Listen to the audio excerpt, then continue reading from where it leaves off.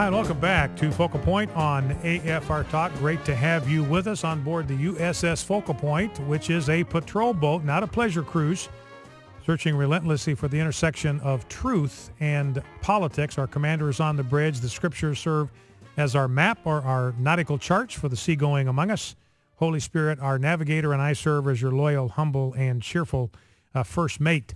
Uh, shifting gears just a little bit from a uh, naval analogy to real Army life, I'm honored and pleased to welcome to our decision maker line retired Lieutenant General Jerry Boykin, who is now serving as Executive Vice President of the Family Research Council in Washington, D.C. Uh, General Boykin was one of the original members of the United States Army's Delta Force, commanded elite warriors in combat operations, and commanded for a time all of the Green Berets in the Army, as well as the Special Warfare Center and School. Last four years in the Army were spent in Washington, D.C. as the U.S. Deputy Undersecretary of Defense for Intelligence. General Boykin, welcome back to Focal Point with Bryan Fischer. Hey, Bryan, it's uh, just great to be with you.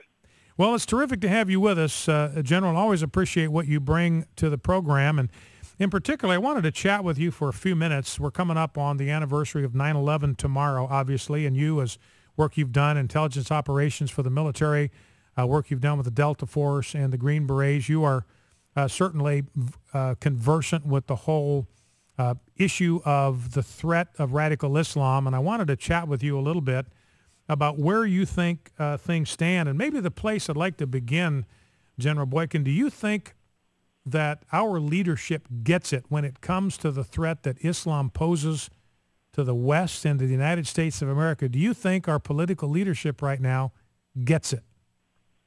Uh, I can answer that very shortly. Uh, no, they clearly do not, and it's uh, it's very disturbing to me, Bryan. This is uh, this is almost criminal. Uh, you know, you have there's actually a federal statute that it says if you know of a threat and you ignore that threat or you don't deal with that threat, you can actually be held, uh, uh, you know, criminally liable. And I think that's what we're seeing today in that, you know, everybody's focused on terrorism and, uh, you know, violent extremism, uh, suicide bombings and assassinations and blowing up buildings.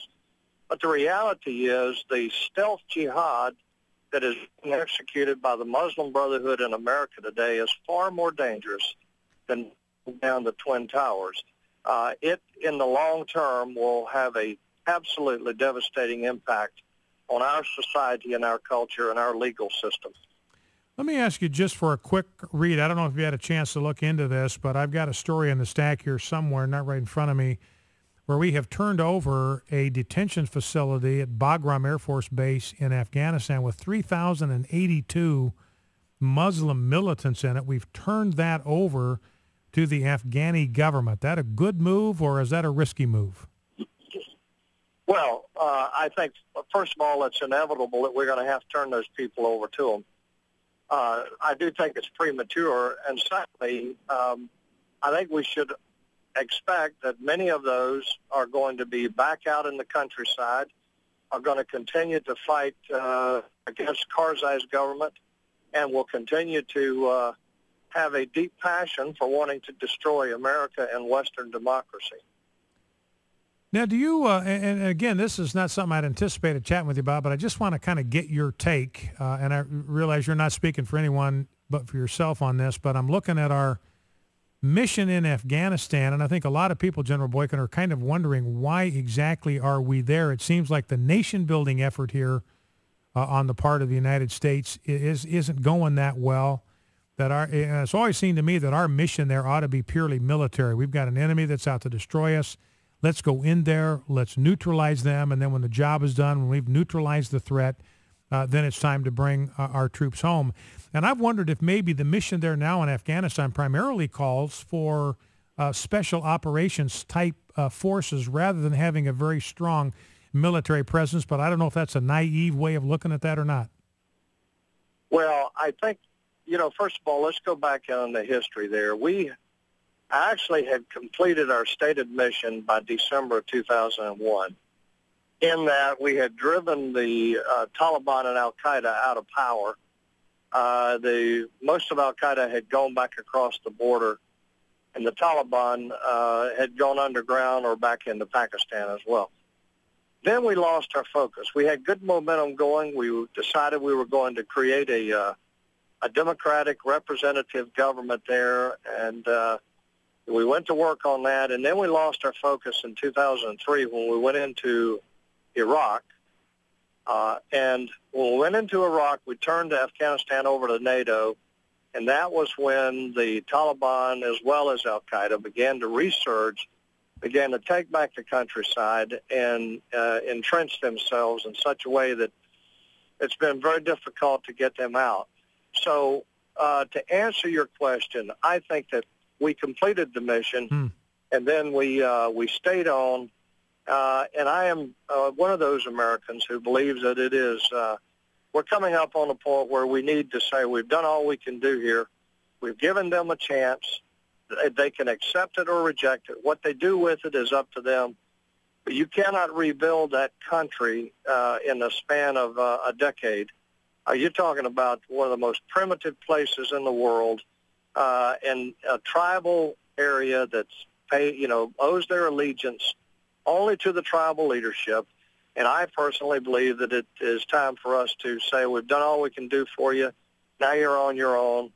And by the way, if uh, if there's another attack from here, you know, you got to understand we're going to make a parking lot out of part mm-hmm. of this mm-hmm. country here. Yeah, we'll be back. Yeah, and that, and, and I that's what I've always felt, uh, General. I, uh, you know, uh, pleased to hear you say that that our jobs go in there, neutralize the threat, and then say to the Afghani people, look, if you don't want us to come back and sort of bomb you back to the Stone Age, and don't let anybody replace whom we've just taken out with anybody that'll make the same kind of threat against the United States.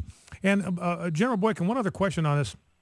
You know, we've tried to do nation building, tried to build a democracy in Iraq. We've tried to build one in Afghanistan. Do you think it is possible to do nation building, uh, building a democratic form of government or a democratic nation in a Muslim country? Is that even possible? No, when you start with the Quran as the constitution, uh, like in Saudi Arabia, like in Iran, when you start with the Quran as the Constitution, you bring Sharia. That's Islamic law. One of the first tenets of that is there can be no man-made laws. That's incompatible with democracy. We were foolish to think that we could build a true representative government there. And when we started writing that Constitution with the words Islamic Republic, it, it's incompatible. It doesn't work. Now let's talk for the last several minutes about what we need to do here in America. We've obviously had the 9/11 uh, attack happened. We've thwarted several dozen attacks that are designed against military installations and other targets, the U.S. Capitol, the Pentagon, in, in the intervening 11 years. Uh, uh, General Boykin, what do you think we need to do right now to protect the United States from further attacks from Muslims? Yeah. Uh, first of all, we need to seal the borders of America. And uh, very few people know how porous those borders are, and uh, the experts will tell you that there are some nefarious things coming across our borders, particularly our southern border. Uh, and we know that there are terrorist cells that have come across. We don't know what they've brought with them, but they've come across our borders. So seal the borders. Secondly, demand that the uh, leadership of this country face up to what we're up against. When uh, last summer we did a study with the Center for Security Policy uh, and discovered that in 50 court cases in America, in 23 states, judges admitted they were using Sharia to adjudicate those cases. Now that's a violation of Article 6 of our Constitution. So we need to demand that the leadership face up to the realities of the encroachment of Sharia the next thing we need to do is we need to go to the Muslim community in America and we need to encourage them and say, if you reject Sharia, if you want Sharia in America, come along beside us or we'll come along beside you. We'll work with you. We'll, we'll do all we can. Stand up and become a voice for the, for the Muslims in America that respect that kind of legal system and uh, stand with them. But uh, today, the only voice for them is actually the Muslim Brotherhood. They mm. speak for all Muslims in America, and the, you know it's also a fact that there are more Muslims that reject Sharia than those who want Sharia. We need to come along beside them. But we've got to demand that the leadership in this country stand up uh, and tell us the truth about what's happening here and quit trying to appease the front front groups for the Muslim Brotherhood like CAIR and ISNA and, and a variety of others. Now, uh, uh, General Boykin, do you have any reservations about Muslims with their allegiance to the Quran and to Allah serving in the United States military? Well, I have a I have a lot of reservations about it as a result of Nidal Hasan and uh, two or three others that have taken an oath to our Constitution only to uh, either perpetrate or plan terrorist acts and then say, um, my allegiance is to the Quran, it's not to the Constitution, even though they took an oath. Yes, I have a great concern about it. I believe there are many Muslims who can truthfully take an oath to the Constitution and will fulfill that oath. But there are others, uh, as demonstrated by Hasan and those that I spoke about, that it's all a ruse. It's all under the heading of taqiyya, which is lying to protect or further the faith. Uh, they are a real threat, and I, I don't know what the acid test for those people would be, but there's got to be some way that we can sort that out before we allow them to serve in our military and take that oath because to me it's a sacred, solemn oath. One last question about religious liberty, General Boykin. I think you've had some observations about you think it's possible that Islam should not be allowed to claim religious liberty rights in America for a particular reason. Can you elaborate on that? Well, that's right. Uh, when practiced in an authoritative way, when a, when a Muslim is adhering to the dictates of the Quran and the Hadith, Islam is not just a religion, it's a totalitarian way of life. And they say the same thing. It's not just Jerry Boykin saying this. They say the same thing. It's totalitarian, including a legal system, a government system, a military system, a geopolitical system, and that is not protected. Now, the Muslims that don't adhere to the strict dictates of the Quran, they must be allowed to worship. General Boykin has been our guest, Lieutenant General Jerry Boykin, the Executive Vice President now at the Family Research Council, one of the original uh, Delta Force members.